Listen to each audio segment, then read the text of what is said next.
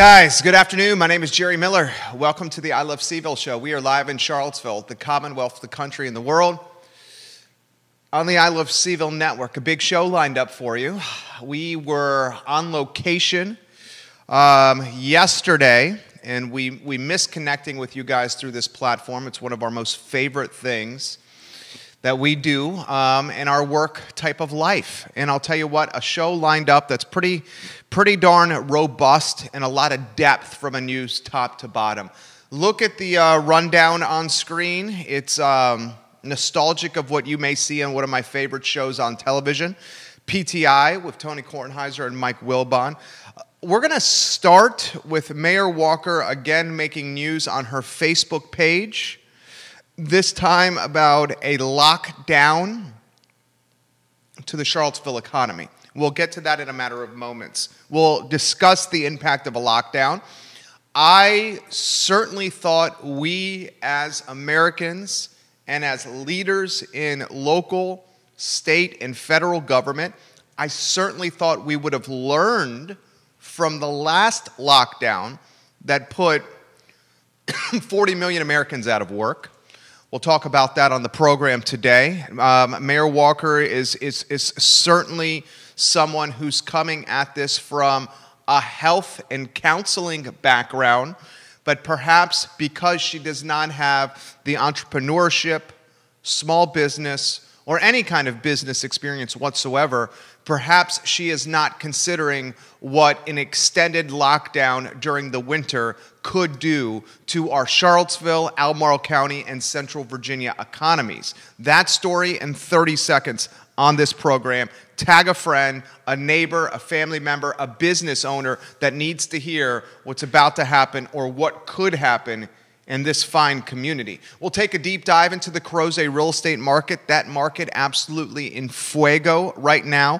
Q3 2020 versus Q3 2019, a 33% uptick for Crozet which is absolutely red hot. Crozet, the momentum certainly being driven by COVID, where folks want a little bit more room, a little bit backyard, a little bit more things to do outside with the family and the friends. We'll understand those numbers today on the I Love CVille show.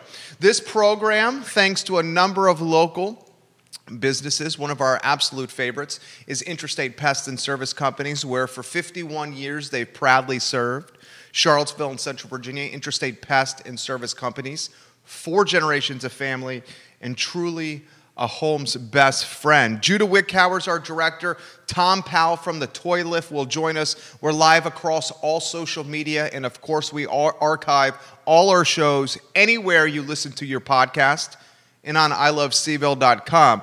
Undoubtedly, the lead of today's program has to be the Facebook post that came from the mayor of Charlottesville, Virginia.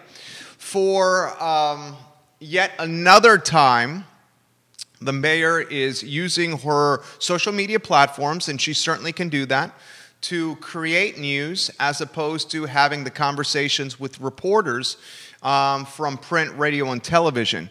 This morning, two posts that absolutely got sent to me left and right by small business owners, by folks in City Hall, folks in the Albemarle County um, government building as well, where she's straight up saying we need a lockdown. Judah Wickhauer is our director. Why don't you get the quotes on screen, the commentary she offered on her Facebook page?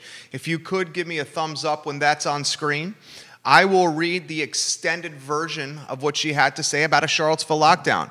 Robust, this is from the mayor Quote, robust financial support will be critical for families and the small business owners during this lockdown. Hopefully, this new administration will have a plan that will go into effect on January 20, 2021. The lockdown needs to happen today because we are unnecessarily losing loved ones every day. Furthermore, on a different post, she says, please prepare yourself for an actual lockdown because a lockdown or, or a, because a lockdown is a lockdown or more, she has a grammatical error here. So please prepare yourself for yourselves for an actual lockdown because a lockdown or more unnecessary deaths are our only options. She basically said a lockdown or unnecessary deaths are our only options, despite that grammatical error in the Facebook post. Um, Lockdown's not the solution. You may disagree with me. If you do, you're entitled to your opinion. Share it in the feed. What we learned from the last lockdown in Charlottesville, across central Virginia, in the Commonwealth of Virginia, and across our country is economic lockdowns negatively impact our most vulnerable citizens, the ones living on the margin financially and socially. The jobs that are lost in lockdowns don't always come back. Some that do come back take a while to get back. On top of that, if you do not get significant government stimulus, you are li- literally leaving tens of millions of Americans out to dry, wondering how they're going to pay their bills, put food on the table, et cetera, et cetera, et cetera. I think if we choose paths where we only think inside boxes, which is what an economic lockdown is, the wealth gap in this community and in many, community, uh, many communities across the country will get larger, will become wider. COVID has increased, enhanced, and driven momentum into this wealth gap. Charlottesville, because of COVID 19, Albemarle County, because of COVID 19, and Central Virginia, because of COVID 19, are more expensive now than they were last year. To back that statement up, I can reference housing. Values of homes in our region have uptick 7% year over year. Furthermore, because of COVID 19 and because folks from densely populated areas with big bags of money, working virtually and remotely, choosing to move from these densely populated areas like Northern Virginia to a place like Charlottesville or Central Virginia where they have more of a backyard, a larger house, and more things to do as mom and dad are working from home and kids are learning from home. There's extra competition for homes here, so we have an inventory pinch because of that competition. Guys, from an affordability standpoint, our community is less affordable now because of COVID 19. If we have economic lockdowns in Charlottesville, in Central Virginia, statewide, countrywide, the folks that will be impacted the most are the ones living on margin and oftentimes, horribly unfortunately, folks of color. The stats back it up. There's two economies in this COVID world the economy where you can live and work virtually and remotely through computers and streaming and Zoom and Skype. Folks that have that luxury and that ability, their income, their wealth has uptick. The folks that have to interact in person hand to hand, face to face, mouth to mouth. Their wealth, their income has downticked. A lockdown is not the solution. A lockdown will cost people jobs. A lockdown will cost business owners their companies.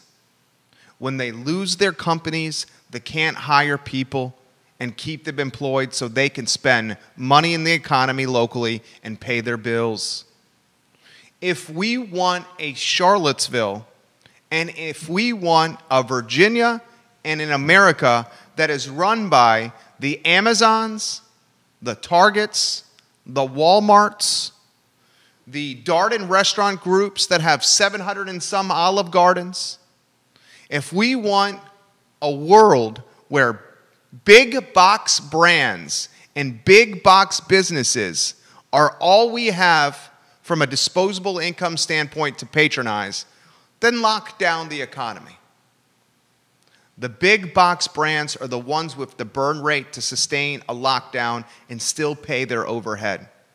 The mom and pops aka the businesses owned by you and I, our neighbors and our family, are the ones that do not have that burn rate. A lockdown is not the solution. It's short sighted, closed minded thinking.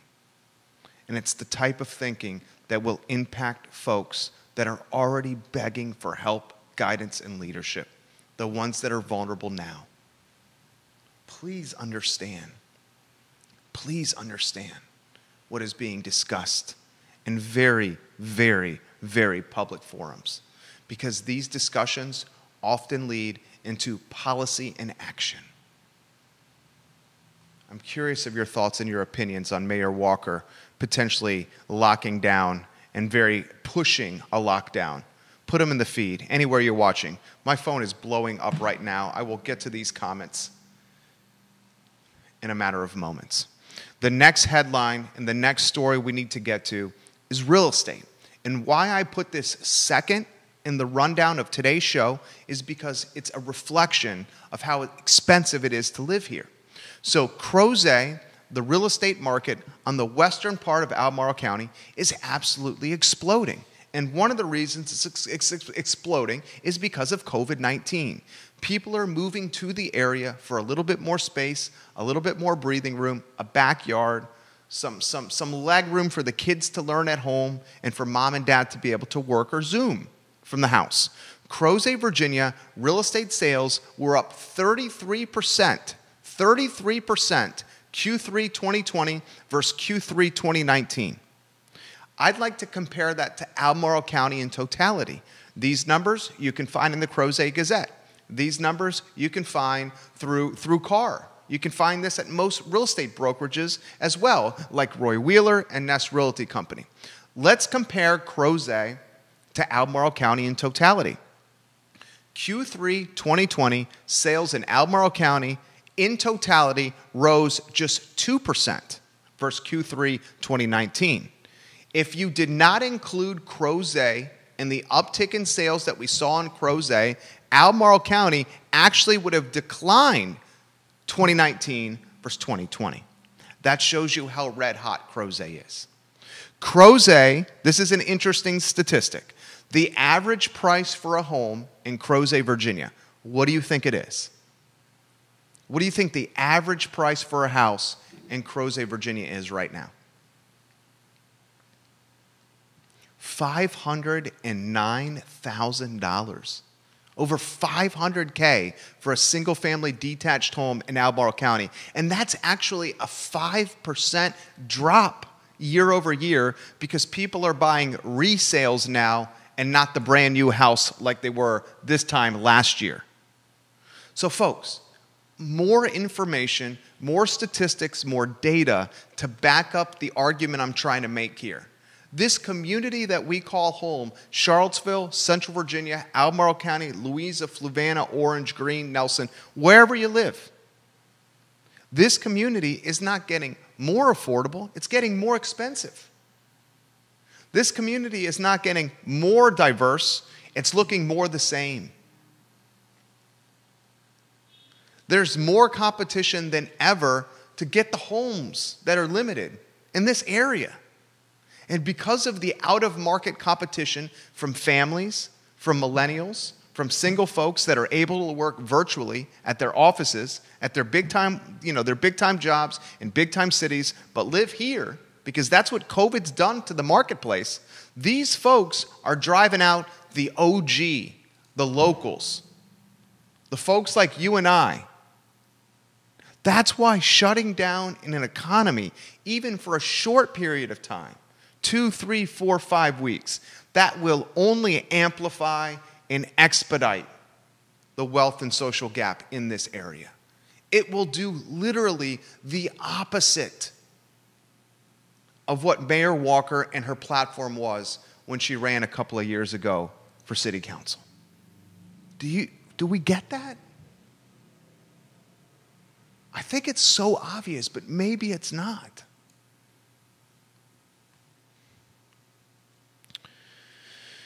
Oh, I just was flabbergasted when my, my phone this morning woke up with it must have been 35, 40 text messages from individual folks in this community talking about this, asking me for help, asking to use the platform to let the community know what the mayor is thinking. Many of her ideas originate here. The temperature is gauged by the response on social, and then the concepts come up in council meetings in person or virtually. A lockdown in the winter months is the definition of stupidity. When the businesses are, are, are not even literally saying to all of us, we don't even know how we can make it through the winter. The fact to even have this in the news cycle or in the conversation when the, the constituents and the citizens and the small and medium sized business owners are saying we can't even make it potentially through the winter, and then for it to fall on deaf ears on the top elected official in the community seems out of touch at best. In absolutely poor, poor taste. I'm going to move on. I will get to your comments. I see them coming in. Put them in the comment section and I relay them on air. Remember, guys, the local municipalities have the opportunity to, to make the standards for COVID more restrictive than what the governor has set. Charlottesville took a half step back from a phase three to a two and a half. So there is that potential and power. You see what I'm saying? Let's talk Richmond business quickly. Tom Powell's going to join us in five minutes on this program to update us on the toy lift. I mean, the time of year, the toy lift, something that brings so much joy to this community. Seeing those darn lifts up by, by, by the mall and someone freezing their, their peanuts off on that bucket as we raise toys for kids. I mean, that's what Charlottesville's all about. We'll catch up with Tom to see what, what the plan is for the toy lift and COVID 19. First, news from business in Richmond, Virginia. This is an interesting business model that's, that's starting to show its face in Richmond. Knife, knives, and axe throwing. You heard me correctly. It sounds crazy. We've all been to Pro Re Nata Brewery or Three Notch Brewery here in Charlottesville, right? And at Pro Re Nata Brewery or Three Notch Brewery, we've seen the people set up those like portable or to go um, axe throwing um, situations where there's a bullseye made of wood. You very safely, um, you pay to do it, and you very safely can throw three axes at a bullseye made of wood. I saw it at Pro Re Nata. I've seen it at Three Notch. I'm, I'm sure you've seen it as well. Well, the trend and the fad is that fun activity that you're seeing at breweries is now turning it into a full time business in Richmond. A husband and wife are opening up a knife an axe throwing business. You can throw knives and axes in Richmond at this. What the hell would you call this place? It's in Scott's Addition, the place where all the breweries are located in Richmond. I love Scott's Addition. My wife loves Scott's Addition as well. If you're looking for something fun to do and you're in Charlottesville, go to Scott's Addition, get there around lunchtime, stay till 6, just walk around Scott's Addition, have a beer, get some nosh, hit the various breweries. It is a blast.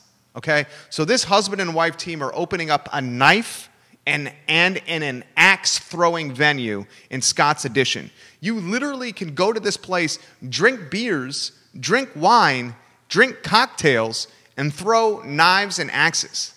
And evidently, this is a trend that is happening all over the country.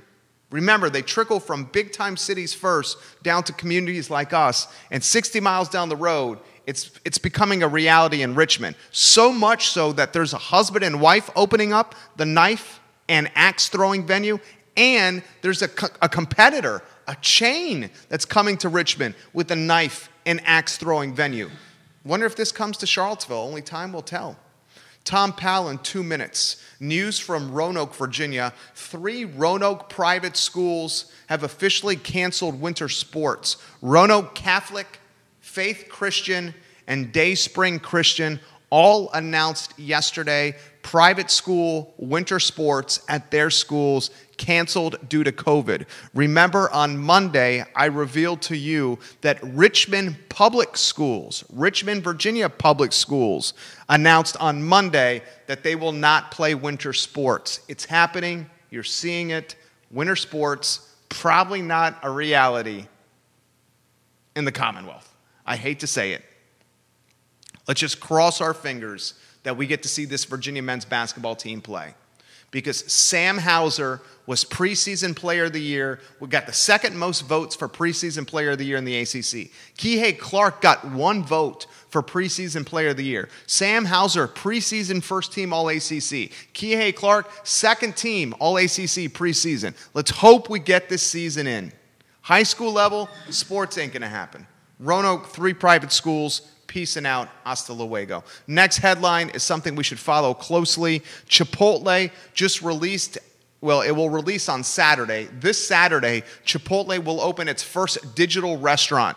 It's going to happen in Highlands, New York, just outside the gates of West Point. This restaurant does not include a dining room. This restaurant does not include a line for ordering. In fact, you can only order food at this restaurant through the Chipotle mobile app or through third party delivery. The whole point of this restaurant is only to order food through this thing, this phone, or Uber Eats picks your food up there and drives it to you. That's all they're doing. COVID 19 has literally, literally, absolutely flipped the restaurant model on its head. And now Starbucks, Shake Shack, Burger King, Taco Bell, and now Chipotle are all rolling out digital ghost kitchen models. Order the food on the phone through a menu on an app. Don't go into the dining room, drive your car up, pick it from a window, get off our property. Order the food through Uber Eats, 15 minutes. Your Uber driver goes through the Uber drive through at Taco Bell, picks up the food, and drives it to you get off our, get off our property. No more going to Chipotle, trying to grab a stack of napkins that are one or two, and then pulling a couple out, and you get a whole wad of them. We've all been in that position. I hate to say this because I love human connection and being around people, but this digital ghost kitchen restaurant model is going to go bananas. It's going to go gangbusters. And when Shake Shack, Starbucks, Burger King, Taco Bell, and Chipotle are all rolling out models of it, you know the trend's going to catch fire. Before we get to Tom Powell, I got some positive news for you. The jobless report, basically the weekly report that shows how many people are out of work. The numbers came in positive 709,000 jobless claims. Okay? The anticipation or the prediction was 740. So it came under the 740 prediction. There are still 21 million Americans collecting benefits, unemployment benefits, but the number is declining. That's a positive. We have a vaccine through Pfizer that is 90% effective on the horizon. Moderna has got a vaccine coming out very soon that is also similarly effective as Pfizer. Two different vaccine options that are extremely effective. Unemployment is dropping. The freaking presidential election is behind us. We got 120 days to get through. Don't tank the economy by doing an economic shutdown like we did earlier this year. That is the, the definition of, of, of short sighted thinking from someone who's never run a business in their lifetime. I'll say it at that. I'm going to go to uh, Tom Powell, Judah Wickower. We've got to make sure we get this uh, mic turned on over here so we can all hear Tom Powell, okay? Hello. Hey, we got Tom. Tom, you are live on the show. Can you hear me, Tom? Yes, I can hear you, Jerry. How you doing? I'm doing well, my friend. You're live on the program. We got Tom Powell, the founder of the Toy Lift here. All right, Tom, I'm going to get out of your way. My friend, what's the update on the Toy Lift? Well, because of COVID, we're having to do it a little differently this year. Uh, we're not going to have uh, all the remote sites and all the big celebration that we normally have. Uh, what we're doing this year is we're asking folks to go to our website, uh, toylift.org, and to uh, click through there. You can see everything you need to learn about the Toy Lift. Uh, right now, what we're doing is we've actually started our fundraising and collection uh, November 4th. We're going on all the way through Friday, December 4th, which is the day the actual Toy Lift was supposed to take place. But we're doing it a little differently this year. We're asking folks uh, to go to our website, uh, check out the Amazon wish list. Those are items that the children have specifically asked for. And we've gotten more kids this year than we've ever had in the past, which is what we expected because of COVID happening. But we really, really, really need your help this year because we've got to find a way to make sure that this pandemic doesn't get in the way of Santa Claus. And we've said it, you know, many times this year. Santa Claus doesn't stop just because of this. He has to keep going. We've got to make sure that we take care of our kids. Tom, I love everything about you. I love everything about you do with this community. You are a leader. You are the man. Has this been the most challenging year from a toy lift standpoint since you came up with this concept? Uh, it really has because uh, what we're we're scared of is that you know things go into a lockdown again, and if a lockdown happens, that just shuts everything down, toy lift and businesses, the whole nine yards. And, you know, we're asking folks to, to think and be careful.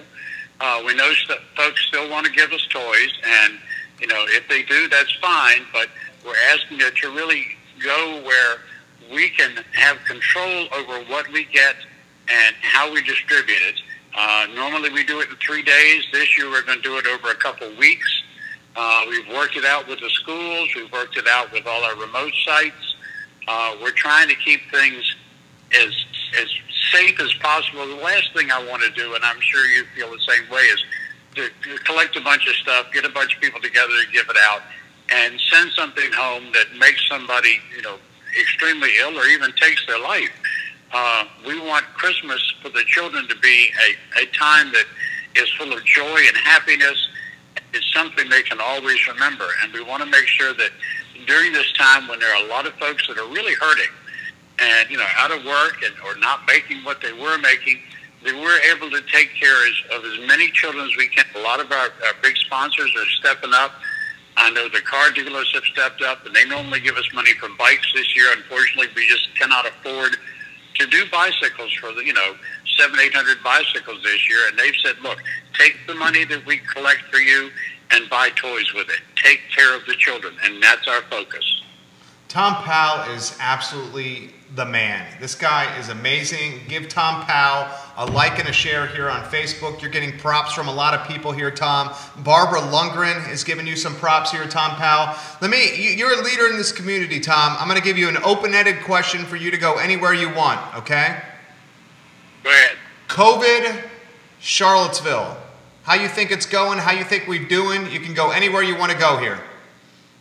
Well, I think we're doing the best we can. I mean, it's a situation where, you know, you've got a lot of folks out there that I don't want to wear a mask. I'm going to wear a mask. My wife and I wear a mask whenever we go out in public. We try and, and, and limit the contact we have with people.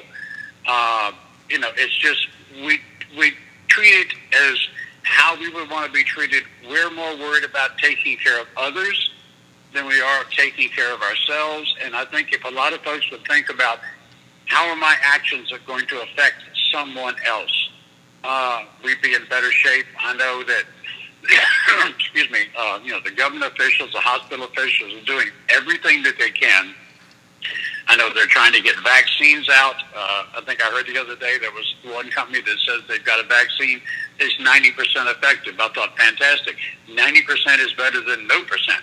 You know, so it's one of those things where this is a time in this country and around the world where we really have to realize that we are all one great big family, and we have to take care of each other and look out for each other. I love it. Final question. Anywhere you want to go with this? We're a platform of hope, Tom Powell. We're going to rally around Toy Lift. We're going to rally around you. How about a message of hope for all of Charlottesville and Central Virginia? This has been a tough year, Tom. We're feeling vulnerable and uncertain. We've got the holidays right around the corner. How about a message of hope for us? Well, I think what we can all be thankful for is all the blessings that we've been given throughout the year. I know things have been tough, but there are places and people that have it a lot worse than you do. And this is the time of year when you can give and make someone else feel better. And I've always said, what you give comes back to you tenfold. So if you just remember, I call it the golden rule. Treat others as you would want to be treated. Know that there is a light at the end of the tunnel, that things will get better, and a few years from now, we'll sit back and go, wow, do you remember what happened in 2020? That was rough. But man, things are great now. Well said, Tom. Anything you need from us, we're there. Anything for the toy lift for you, just reach out. I, I sincerely mean that. I'm grateful for your time and your, uh, and, your, and your thoughts today. You have a good afternoon, my friend. You too, my friend. God bless. Take care. Tom Powell, boys and girls, founder of the Toy Lift. That guy's A plus people. Comments on anywhere you want to go that you've heard on this show so far, put them in the comment section. Send me a DM or a text. I will get to them in moments here on the I Love CVille show. Before I get to your comments, a couple of items I want to get out of the, the box first. The first one Virginia basketball and Tony Bennett, preseason number one in the ACC standings. How about that? Tony's team, preseason number one in the ACC standings. That is fabulous. Sam Hauser, um, preseason player of the year, he finished two in the voting behind the talented youngster from North Carolina. Um, Kihei Clark even got a preseason player of the year vote. Hauser, the transfer from Marquette, was first team preseason All ACC. Kihei, second team preseason All ACC. This team has got significant talent. Significant talent inside and outside. I think we all know that. As someone who bleeds orange and blue, just like you, just like you, you, you, and you guys back there, as someone who bleeds orange and blue, I just want to get the season in. I don't even care about seeing this team in person. I'm fine watching the team on television with no one in the stands. This team it needs to be able to play a season from start to finish. I can't believe I'm saying this. This team has national title type of talent. UVA's got national championship type of talent, and we all know Tony Bennett is one of the best, if not the best, coaches out there. Quickly, Louisville two and five at UVA Scott Stadium.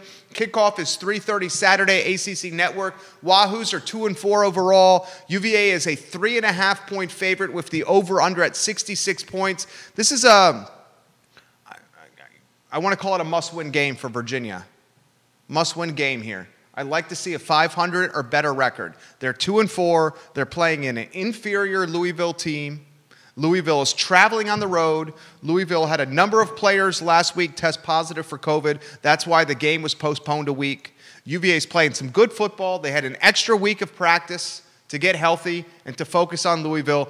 I, am going to call this a must win game for the Wahoos, who are a three and a half point favorite. And, and two other items before I get to your comments on this show. Hugh Freeze at Liberty University just got his second contract extension in 11 months a big time contract extension that makes him one of the highest paid coaches at, at, at Liberty's level. Hugh Freeze, he's got a top 25 football team right now. He just beat Virginia Tech. He's getting paid, he's getting paid, and he's getting paid. Hugh Freeze, say what you want about the extracurriculars.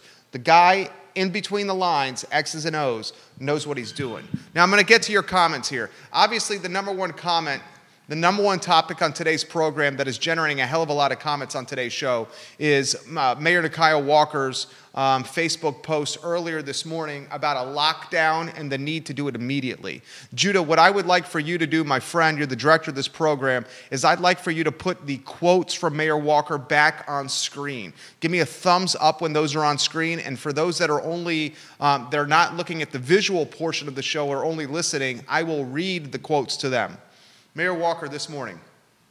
Robust, quote, robust financial support will be critical for families and small business owners during this lockdown. Hopefully, this new administration will have a plan that will go into effect on January 20, 2021. The lockdown needs to happen today because we are unnecessarily losing loved ones every single day. On a second post this morning, the mayor of Charlottesville, Virginia said, Please prepare yourselves for an actual lockdown because a lockdown or unnecessary, unnecessary deaths are our only options. Give me your thoughts. I called this closed minded thinking. I said this is perspective from someone who's never been through the uh, trials and tribulations of running a small or medium sized business.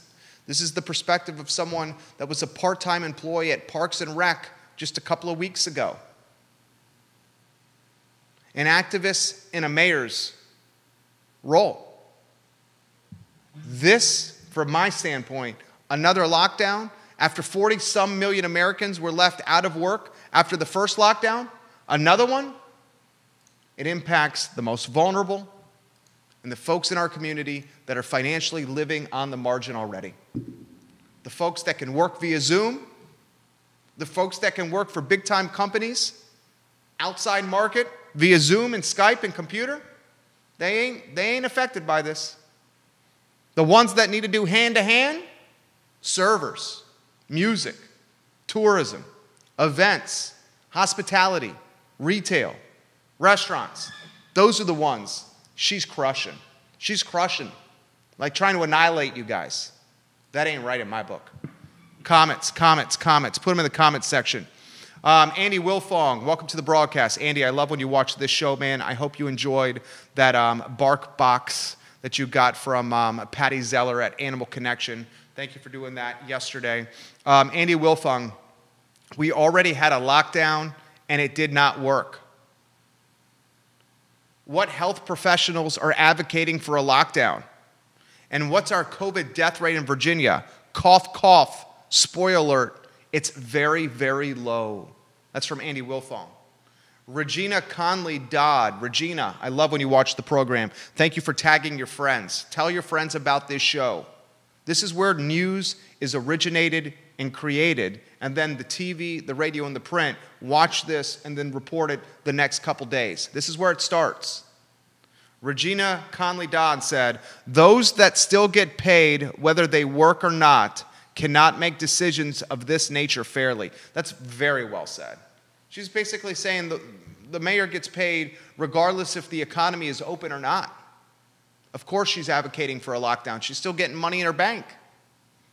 Regina Dodd, I'm going to change my like on your comment to a heart. Oh, Andy, it was a surprise. He said, Thanks for telling my sister what I got her dogs for Christmas. Hopefully, she's not watching. Maybe she is watching. If I did spoil the surprise, I apologize that um, Andy's sister. What's your sister's name, Andy? Um, Barbara Lundgren. Oh, Barbara. She says, Jerry, start the petition. Um, many times on this program, I've had this conversation.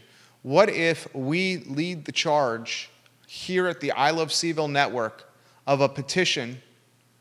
Where we ask the mayor to resign. We start a petition. You can choose to sign it or not. And the premise of the petition is multiple decisions and multiple perspectives you've shared over the 12 month, 10 month that is COVID 19 has clearly indicated that your leadership skills leave some to be desired. Olivia Branch says this our community has had very low outbreaks within the hospitality community, and there are no reports of weddings being super spreaders. The TJ, TJHD report of 1,700 cases versus 97 hospitalizations is also low compared to other similar sized cities, college towns. Mandatory mask is helping. That's the solution, is mask. Mask, social distancing, not lockdowns. Olivia Branch, well said. Love when Olivia Branch watches this program. More comments coming in. Larry Chartis says, Jerry, I love your show. Uh, I turn your show on to my wife, and now she watches it even more religiously than I do. You're 100% right about a lockdown impacting folks that already are struggling to pay their bills. When people choose to lock down an economy as opposed to doing creative ways to keep the economy and everyone safe, it shows that they weren't intended for a leadership position in the first place. Wow. Larry Chartis. Nicely done, Larry Chartis, on this program.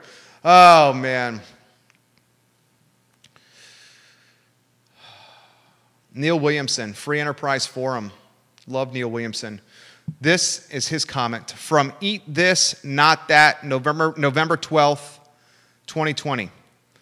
Coronavirus cases continue to set daily records nationwide, and public health officials are calling for Americans to mask up and change their holiday plans. But there's one thing Dr. Anthony Fauci, the nation's top public health expert, won't be calling for, at least right now a nationwide lockdown. Exactly right. Exactly right. You know why you don't call for a nationwide lockdown? Because you put 40 million Americans out of work. And the ones that you put out of work are the ones that were already kind of behind and struggling. And let's, let's, let's please consider the mental health toll that's happening, the anxiety toll that's happening, the depression that's happening, the alcohol and substance abuse that's happening that we're not discussing. A lockdown in this community will devastate the demographic that the mayor ran her entire platform upon supporting and championing. It's worth reiterating. Another lockdown, if she leads this charge, will most negatively impact the demographic when she launched her platform. She said she would support and champion throughout entire tenure. Johnny Ornalis, thank you for sharing the show. Keith Smith, thank you for sharing the show. Please understand what is happening because these are very real topics that are going to show up in council meetings on the agenda. And frankly, I, I, at this point, I think she is going to beat to the drum of her choosing it is now up to us to conversate with counselors Snook, Payne, Magill, and Hill to outvote and keep anything like this from happening. Sena's brother owns Lampo. Understood? She's got to get it. Lloyd, I know, certainly does. And Heather comes from a small, medium size background mindset. All right, follow it. We'll bring it up tomorrow. This is real, raw, and very much could impact things here in our backyard. I got to get out of here. I'm going to close with a final word. Before I close with the final word, I encourage everyone to watch the I Love CVille Daily Digest. It's this entire show in five minutes or less, five days a week at five o'clock on the I Love CVille network, the I Love CVille Daily Digest, 5 o'clock today. I want to get out of here um, on this note. There are roughly 2,700, 2,700 Albemarle County students learning in classrooms and in person. Started yesterday. Let's not perfect, let's not expect perfection with the curriculum. Perfection is the enemy of productivity. Let's stay open minded. Let's realize we're in uncharted territories. Let's realize having the kids in a classroom is a positive. Is it going to be the ideal learning scenario you want as a mom and dad? No. But having the kids in the classroom is a positive and beats the alternative. Do the best you can with what you got. That's where we're at. We hope they wear the mask. We hope the kids stay six feet apart. The temperature checks and the hand washing. The best we can with what we got. Be patient, be open minded, be kind, be empathetic.